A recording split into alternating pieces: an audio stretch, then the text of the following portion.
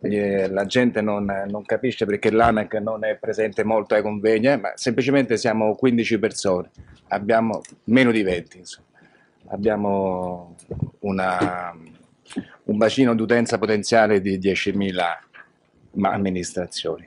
Allora io volevo ringraziare l'ISPRA innanzitutto per avermi dato la possibilità di tornare all'ISPRA, eh, io sono un borsista dell'AMPA del 1996, quindi quasi vent'anni, ho trovato i miei maestri, e, eh, insomma, sono molto... E poi di, ecco, porto i saluti del Presidente Raffaele Cantone e del Segretario Generale Antonella Bianconi, che nonostante la mission dell'ANAC sia sempre più rivolta verso la prevenzione della corruzione e dobbiamo un attimo fare gli equilibristi con i carichi, con i carichi di lavoro. Siamo qui, eh, l'anno scorso venne il collega a presentare il modello. Ecco, oggi veramente con una punta di orgoglio possiamo presentare già dei risultati che sono in anteprima assoluta, perché cosa è successo insomma in questi mesi. Io ero venuto in realtà per ascoltare, eh, avevo già letto il rapporto ISPRA, 228 pagine mi sembra, ma perché come auspicavo il modello che la Civit all'epoca fece eh, per tutte le tipologie di amministrazione doveva essere innanzitutto personalizzato e fatto proprio. Questa è stata la prima evidenza dell'esperienza ISPRA. Mi è piaciuta moltissimo questa sinergia tra, tra OEV e CUV che non è per niente scontata, anche perché eh, la legge dà solo un piccolo comma dell'articolo 14 quando parla di indagini a cura dell'OEV, sul, indagini sul personale, eh, traccia in maniera molto essenziale i temi delle indagini, ma poi non, non ci sono approfondimenti. E, e poi il valore aggiunto di questa indagine mi sembra sia stato proprio quello della partecipazione nella condivisione, dei, nella elaborazione comune di, dei dati con punti di vista diversi e nella, nella condivisione dei piani di miglioramento che immagino non mancheranno. Allora, pochi minuti, non ci crederete ma starò... Ecco, ah no, questo è PDF. Allora, ne approfitto della presenza del del dottor Lacommare che è anche responsabile della prevenzione, RPCC come si dice in gergo, RP, del responsabile della prevenzione della corruzione ai sensi della legge 190, per far capire come non stiamo parlando di un, un esercizio di stile, quello delle indagini sul personale, sul benessere organizzativo, grado di condivisione del sistema di valutazione e valutazione superiore gerarchico, ma stiamo parlando di un sistema che in realtà può davvero essere organico. E infatti, ecco, se al centro c'è l'obiettivo della prevenzione della corruzione, e parti di questo mosaico sono il ciclo della gestione della performance, tutto ciò che è trasparenza. Voi sapete che le amministrazioni hanno l'obbligo di mettere i risultati di queste indagini in un'apposita sezione, quindi chiunque può veramente, eh, ormai sono decine e centinaia le indagini del 2013-2014 disponibili sulla, sulla, rete. Ma io vedo anche delle, e qui ancora non si è parlato, si è parlato di mobbing, ma non si è parlato ancora di whistleblowing, che è questo strumento che insieme al codice di comportamento è uno, che sono due cose diverse, ma è uno strumento che secondo me ha a che fare questo è tutelare il dipendente che vuole segnalare delle illegalità. Poi la, la consigliera nazionale ha aperto delle, delle provocazioni giuste sulla, su come legare la performance con il benessere organizzativo, con le varie opportunità. In realtà eh, gli OEV sanno bene perché ecco, l'ISPA qui, lo, lo, lo, anche se noi dobbiamo essere distaccati, ma l'ISPRA è veramente considerata una, ha, ha, delle strutture tecniche anche molto, eh? è considerata molto puntuale nel, nelle, eh, nel ciclo di gestione della pesca, non sono solo documenti, adempimenti, noi i piani della performance, le relazioni eh, di fine anno, le schede di monitoraggio in itinere le leggiamo tutte. E io sono dell'idea che so, è stata impostata abbastanza bene questa lettura tra pari opportunità e performance, però eh, sicuramente si può migliorare. Quindi lo stesso CUG con il proprio piano di azione positive deve essere letto insieme al piano della performance e, e al piano della prevenzione.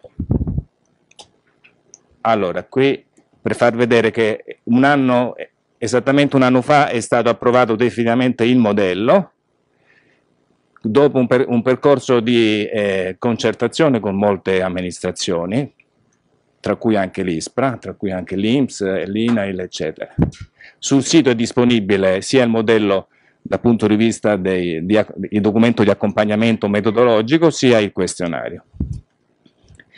Questa è una, una parte dell'applicazione web che noi abbiamo mutuato dal vecchio kit del benessere organizzativo, veramente lavorando in economia, qui non ci sono stati costi, di, in sostanza è, un, è tutto a costo zero. Questo è uno degli esempi di reportistica che l'utente dell'applicazione web ha in tempo reale utilizzando questa applicazione.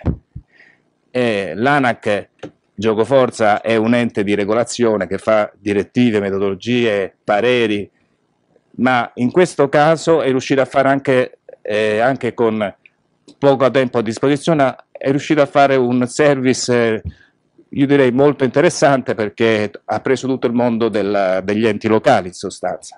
Infatti se vediamo, questa è una bozza di rapporto di monitoraggio che era in cantiere già ad aprile e che adesso noi riproporremo definitivamente a giugno.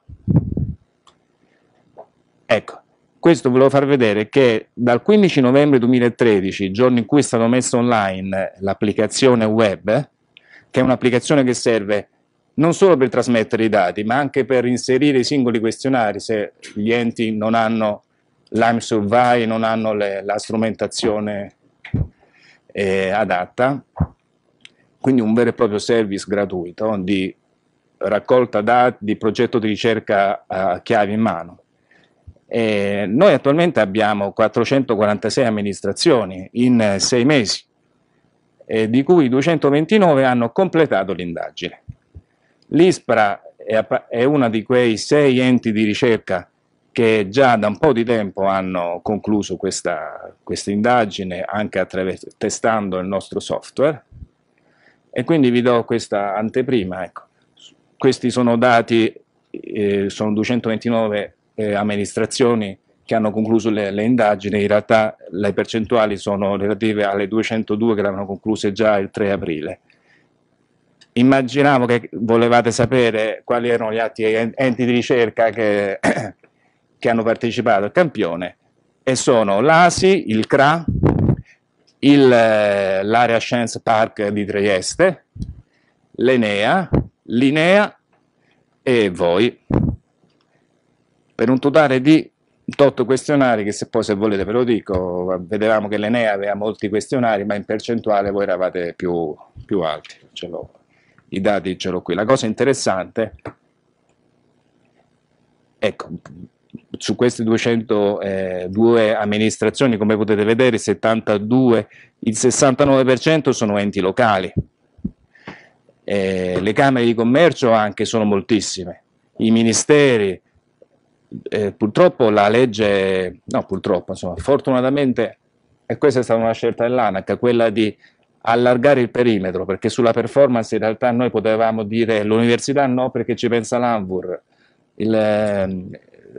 il servizio sanitario no perché in realtà ci possono pensare, insomma, noi abbiamo aperto a tutti e abbiamo avuto questo, queste ecco, 400, oltre 400 amministrazioni registrate all'applicativo che nel, chiuderanno l'anno con un'indagine. Dunque, vado avanti. Eh. La cosa interessante è che forse voi lavorate, immagino, anche con i comuni, ci sono amministrazioni eh, comunali che hanno 5 dipendenti in pianta organica, che eh, quando io vedevo indagini concluse con cinque questionari gli diceva ma siete sicuri che è statisticamente rappresentativa? E diceva veramente noi abbiamo, insomma, per dire che il mondo del benessere organizzativo, delle indagini su personale lega una pletora di amministrazioni veramente, ecco, la classe principale è, sono le amministrazioni tra i, 49, tra i 20 e i 49 dipendenti. La, la figura numero 5 non pretendo che si veda, però qui ad esempio noto un problema sulla rappresentatività statistica delle indagini. Sono poco più del 20% le indagini, immagino soprattutto quelle degli enti piccoli, le indagini che sono state compilate al 100% dei, dei dipendenti in dotazione organica. In alcuni casi si può parlare di non rappresentatività del campione, ma questo, come diceva il professor Maggi, non toglie sostanza comunque ai risultati. Questo grafico non ha pretesa di, ecco, di essere reinterpretato, sono però i valori medi di ciascuno dei 14 ambiti per questi comparti che ho aggregato, amministrazioni centrali, enti locali, enti di ricerca, enti parco, camere di commercio, enti del Servizio Sanitario Nazionale, università pubbliche che sono molto attive. Dunque, eh, ecco, questi sono grafici degli altri due eh, blocchi che eh, ci dimentichiamo sempre, non in questa sede, ma generalmente si parla di benessere organizzativo, dimenticando invece la novità della legge, che è questa indagine sul grado di condivisione del sistema, che ci dà dei risultati assolutamente, come dire, di rassegnazione su come il sistema di valutazione sia percepito dalla, dai dipendenti. Va un po' meglio sul discorso della percezione del proprio capo, questi sono i dati un pochino più eh, leggibili, numerici, dei valori medi per comparto. Gli enti di ricerca, ad esempio, si, eh, hanno più o meno una, un, dei valori in linea con il valore medio nazionale. Ci sono dei problemini di più, forse sulla parte del grado di condivisione del sistema. Adesso Ecco. ecco, questa è una tipologia di analisi che forse non è stata colta da tutte le amministrazioni. Incrociare, vero professor Maglio? Incrociare gli, eh, i giudizi di importanza con i risultati medi di percezione sugli stessi ambiti. Questo è, no, nel senso, voi l'avete fatto, eh, eh, proponiamo ad esempio un quoziente importanza su benessere, dove più ed è ancora più interessante vederla su un piano cartesiano per capire eh, dove l'ambito ha una percezione di malessere e c'è un'alta importanza del tema, quindi dove c'è da lavorare di più o dove invece già il problema è marginale. Questi sono solo dei flash, no? vado avanti, vado dritto verso la conclusione. Ecco, dovendo, noi abbiamo una banca dati molto interessante in eh, sei mesi, che spero riusciremo a sfruttare magari eh, sono, andiamo verso i 25.000 questionari. Questo ad esempio è un'estrazione, item per item, dove potete vedere il, la terza colonna sono gli enti di ricerca, una cosa che mi sembra di confermare, che conferma il dato ISPRA, che ne, ad esempio la A04 eh, ho subito atti di mobbing ha un valore medio di 4,03 per i sei enti di ricerca analizzati, ma le donne hanno dato un giudizio superiore. Solitamente in questi 82 item eh, l'uomo dà un giudizio più verso il benessere, più verso il 6 in alcuni casi e soprattutto sul, su questi temi delicati della, delle discriminazioni, del mobbing, del, e invece come vedete la differenza è negativa uomo-donna e quindi questo è un dato interessante, confermato in tutti i comparti. E come vedete gli enti di ricerca hanno un valore particolarmente basso sul, sul blocco C dell'equità, Adesso naturalmente non pretendo, insomma, però questi sono dei flash, dei flash perché eh, invece Eh, una cosa invece a cui tengo, visto che stiamo in questa fase molto dinamica, sia si potrebbero aggiungere, la butto lì, delle domande sulla eh, percezione di fenomeni corruttivi, scorretti, illegali, che ciascuna amministrazione si, eh, si insomma, perché devo dire che questo strumento, anche se 400 amministrazioni sono una goccia rispetto alle 10.000 potenziali, però ha funzionato eh, e quindi le amministrazioni potrebbero, potrebbero uh, continuare a utilizzare questo strumento di ascolto magari insieme a questi strumenti importantissimi come il whistleblowing eh, o sportelli di, gli sportelli di ascolto previsti dalla... Io non voglio andare oltre, eh, vi ringrazio, sono emozionato.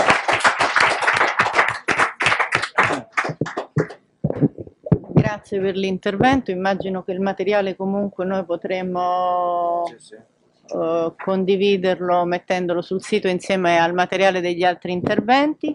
Uh, una piccola nota, uh, probabilmente già è noto all'ANAC, ma ISPRA sta partecipando anche a una sperimentazione per la mh, rivisitazione e lo snellimento uh, di tutto quello che è piano della performance annessi e connessi con Formez e altri enti, in particolare c'è un piccolo gruppo di enti di ricerca, quindi stiamo lavorando anche in quella direzione.